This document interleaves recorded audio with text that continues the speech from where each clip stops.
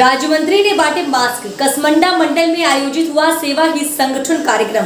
सिधौली, सीतापुर में सेवा ही संगठन कार्यक्रम के अंतर्गत मंडल कसमंडा के ग्राम भजियावा बिलरिया में भाजपा के विधानसभा प्रभारी एवं राज्य मंत्री लालजी निर्मल ने ग्रामीण लोगों को सैनिटाइजर व मास्क वितरित कर कोरोना संक्रमण के प्रति जागरूक किया। राज्य मंत्री ने प्राथमिक स्वास्थ्य केंद्र भाजिया का निरीक्षण किया और चिकित्सकों को इमरजेंसी में आने वाले मरीजों को आवश्यक रूप से दवाएँ देने के निर्देश दिए। साथ में मंडल अध्यक्ष लक्ष्मी शंकर गिरी व अन्य लोग मौजूद रहे। प्रभारी मंत्री लालजी निर्मल ने भंडिया गाँव में कोरोना संक्रमण के प्रति लोगों को जागरूक करते हुए कहा कि कोरोना जैसी महामारी से लड़ने के लिए सभी को आगे आना होगा और सरकार द्वारा जारी नियमों को माने और भीड़ भाड़ वाले इलाकों में न जाएँ और साफ़ सफ़ाई का विशेष ध्यान रखें, जिससे कोरोना व अन्य संक्रामक बीमारियों से बचाव हो सके।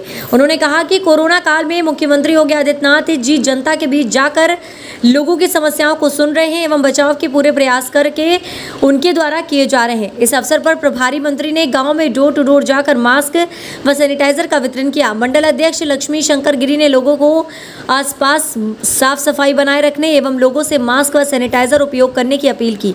इस अवसर पर जिला उपाध्यक्ष करुणा शंकर त्रिपाठी, राघवेंद्र सिंह, महामंत्री सोनू शुक्ला, पूर्व ब्लॉक प्रमुख रमेश भार्गव, प्रधान प्रतिनिधि मोहर्रम अली, नवनीत पांडे, अमर सेन चौधरी, राहुल यज्ञसेन अफरोज सहित भाजपा के कार्यकर्ता व अन्य लोग मौजूद रहे। अपने अपने घरों में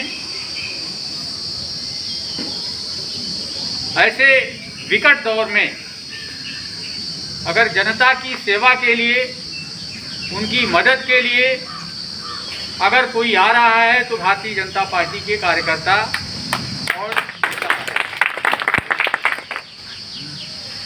वास्तव में यह बड़ा अप्रतिम है, आपने देखा। पूरे देश के पैमाने पर देखिए।